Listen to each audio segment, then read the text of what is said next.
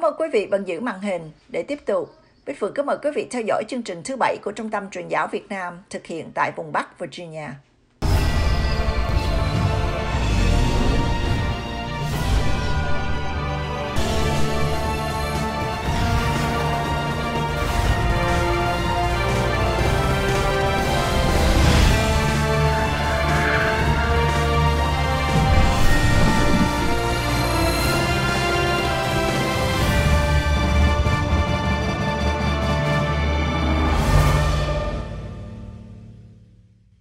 Kính chào quý khán thính giả của đài truyền hình FPTN.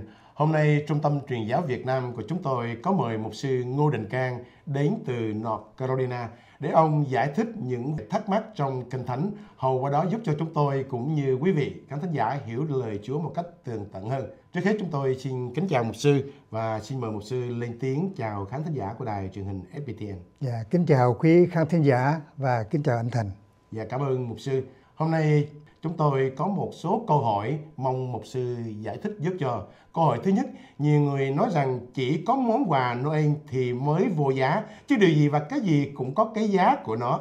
Khi đề cập đến sự tự do, có người còn cho rằng sự tự do không phải là miễn phí, freedom is not free. Và muốn có sự tự do phải trả một cái giá, thậm chí là một cái giá rất đắt đỏ. Nhân ngày lễ độc lập năm nay của Hoa Kỳ, xin mục sư giải bày về chủ đề cái giá của sự tự do, đề cập đến sự tự do tại đất nước Hoa Kỳ cũng như sự tự do có mối liên quan đến số phận và cuộc đời của mỗi con người sống trên thế gian này. Xin kính mời mục sư. Xin kính chào quý khán thính giả, chào anh Thành.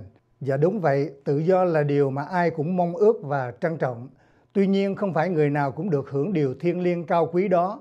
Nhiều người phải đánh đổi hai chữ tự do bằng cả sinh mạng của chính mình và gia đình người thân của mình. Vào ngày 6 tháng 1 năm 1941, Tổng thống Franklin Delano Roosevelt của Hoa Kỳ đã phát biểu trước Quốc hội về tình trạng chiến tranh ở châu Âu. Đến phần kết luận, ông nói rằng, tôi mong mỏi một thế giới được kiến tạo trên bốn tự do căn bản của con người. Đó là tự do ngôn luận, tự do thờ phượng, tự do thoát khỏi thiếu thốn và tự do không sợ hãi. Ngày lễ độc lập 4 of July hàng năm thật là ý nghĩa. Đất nước Hoa Kỳ trở nên hùng mạnh và dân chủ. Nhân dân Hoa Kỳ văn minh và hạnh phúc là nhờ thừa hưởng sự tự do này. Tuy nhiên, để có một hiệp chủng quốc như ngày nay, nhân dân Hoa Kỳ đã trả một giá khá đắt với nhiều tính mạng hy sinh mất mát đã được ghi vào lịch sử như dưới đây. Cuộc cách mạng của nhân dân Hoa Kỳ có 4.435 người chết, Cuộc chiến với người Anh có 2.260 người chết. Cuộc chiến với người Mexican có 1.733 người chết. Cuộc nội chiến có 364.511 người chết. Cuộc chiến với người Spanish có 2.446 người chết. Chiến tranh thế giới lần thứ nhất có 116.516 người chết. Chiến tranh thế giới lần thứ hai có 405.399 người chết. Cuộc chiến tại Triều Tiên có 54.246 người chết. Cuộc chiến tại Đông Dương và Việt Nam có 58.000 người chết. Và gần đây cuộc chiến tại Afghanistan và Iraq tổng cộng có trên 2 triệu người đã ngã xuống vì sự tự do cho nước Mỹ. Từ sự tự do để giành được, những nhà lập pháp Hoa Kỳ đã kiến tạo nên một quốc gia với chính thể tôn trọng nhân quyền. Con người có quyền hành xử sự tự do căn bản và có được nước Mỹ như ngày hôm nay. Chúng tôi xin cảm ơn mục sư. Thưa mục sư, sống tại đất nước Hoa Kỳ, tôi có nghe nói về tự do tôn giáo, nhưng tôi và một số người không hiểu nó có ý nghĩa gì và nguyên nhân nào đã hình thành sự tự do này. Xin mục sư giải thích giúp cho. Dạ, tôi xin trả lời câu hỏi số 2. Tự do tín ngưỡng là tự do thực hành đức tin theo tiếng gọi của lương tâm riêng của mỗi người Cấm đoán đàn áp tôn giáo là đã xâm phạm đến quyền tự do căn bản và tạo nên sự bất ổn chống đối lâu dài. Những người Mỹ đầu tiên thời lập quốc đã hiểu hậu quả tai hại thế nào khi ngăn cản và cấm đoán tôn giáo. Họ đã học được một bài học cao quý và giá trị trong dòng lịch sử của nhân loại. Đó là người Do Thái giáo đã ngăn cấm, bắt bớ giáo hội cơ đốc giáo một cách khốc liệt, mà hành động đầu tiên dẫn đến là việc giết chết Đức Chúa Giêsu Christ – những cơ đốc nhân mang niềm tin nơi cứu Chúa Giêsu đã bị bắt hại suốt 300 năm đầu tiên kể từ sau công nguyên. Thế rồi những người đặt niềm tin chân thật vào Chúa Cứu Thế Giêsu một lần nữa, chìm trong sự tấn công giả man của những thế lực đen tối vào thời kỳ cải chánh giáo hội của Martin Luther thế kỷ thứ 16. Quốc gia Hoa Kỳ đã cho công dân của họ có quyền tự do tín ngưỡng. Họ đã tách biệt tôn giáo ra khỏi quyền hạn của nhà nước và chính thể hiện hành. Đặc điểm của nước Mỹ là được tự do tôn giáo. Điều này phát xuất từ những di dân người Anh chạy trốn khỏi sự bắt bớ tàn khốc về tôn giáo và niềm tin của họ. Họ là những người muốn được tự do thờ phượng đấng tối cao theo tính đa dạng mà Ngài đã dựng nên trong mỗi con người. Và chúng tôi xin à, cảm ơn mục sư. Chúng tôi có một câu hỏi thứ ba. Ngoài sự tự do được hưởng khi sinh sống tại Hoa Kỳ và có được sự tự do về tôn giáo như vừa đề cập ở trên, vậy còn có sự tự do nào nữa mà con người đề cập đến không thưa mục sư? Trong lịch sử và trong cuộc sống của nhân loại, chúng ta thấy tồn tại hai thế lực đối nghịch nhau đó là giữa thiện và ác, sáng và tối, chánh và tà, thật và giả, sống và chết. Kinh Thánh kỹ thuật bằng chứng hiện hữu của con người, lý do con người bị trói buộc vào sự đau khổ, sự chết và phải trải qua sinh, lão, bệnh, tử như ngày nay. Khi Thượng Đế tạo dựng nên loài người, Ngài ban cho họ món quà quý giá đó là sự tự do. Họ được dựng nên là một tạo vật có thể xác, có linh hồn và có tâm linh, body, soul and spirit. Thượng Đế đã không tạo ra họ giống như người máy, robot, nhưng với sự khôn ngoan, có ý chí và sự quyết định. Họ được ban cho sự tự do nên họ có quyền tự do lựa chọn và phải chịu trách nhiệm với sự lựa chọn của mình. Nhưng tiếc thay, vì sự lựa chọn bất văn lời Thượng Đế nên họ và cả nhân loại phải ở trong vòng xiềng xích nô lệ của điều ác, của ma quỷ và của sự chết. Tổ phụ của loài người là Adam và Eva và cả dòng giống hậu tự của họ là loài người đều ở dưới sự trói buộc, cầm tù về tâm linh bởi quyền lực của sự tối tâm của Satan. Con người đã bị tuyên án chết về thể xác và tâm linh vì hành vi tự do sai trật tội lỗi của họ gây ra. Vì thế nên loài người cần phải có một đấng cứu thế để có thể giải thoát họ khỏi sự trói buộc, tù đày và khỏi sự rủa xả thuộc linh này. Giờ chúng tôi xin cảm ơn mục sư con người đứng trước tình cảnh bị làm nô lệ cho địa ác, cho ma quỷ và bất lực trước sự chết. Như vậy, có cách nào và nhờ vào ai mà con người có thể được cứu thoát và có được sự tự do trong tâm linh không, thưa mục sư? Dạ, tôi xin trả lời câu hỏi.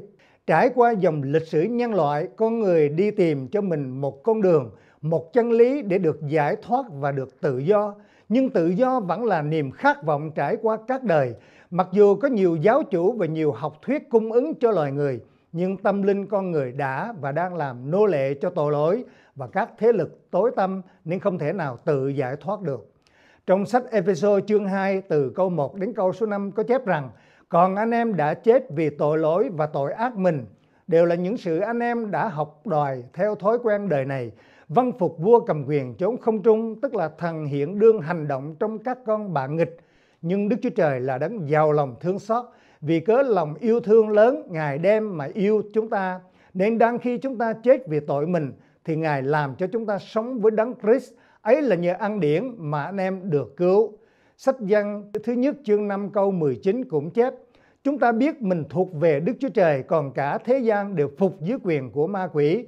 Trước tình cảnh khốn khó của nhân loại, Đức Chúa Giêsu đã đến thế gian. Theo lời tiên tri Esai chương 61 câu số 1 chép: Thần của Chúa giê-hova ngự trên ta, vì Đức Giê-hô-va đã sức giàu cho ta đặng giảng tin lành cho kẻ khiêm nhường.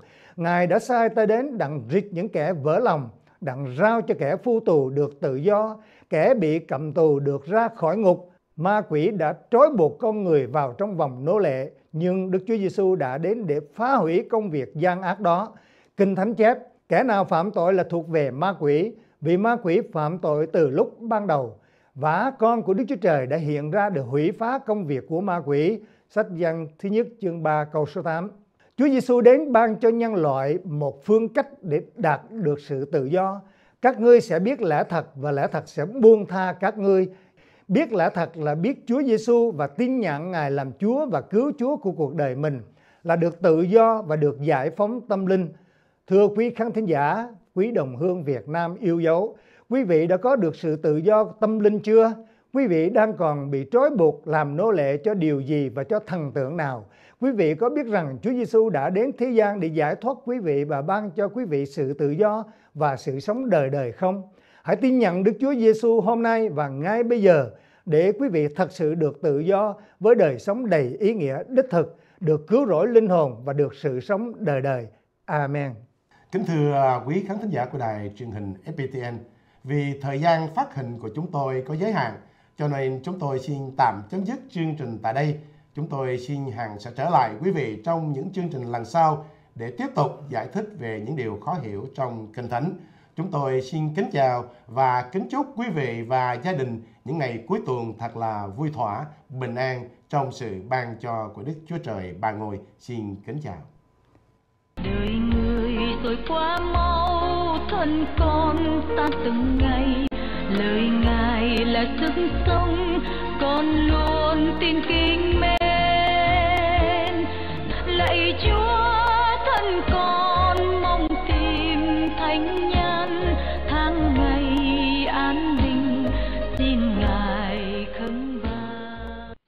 Kính thưa quý vị, VATV sáng nay đến đây là chấm dứt.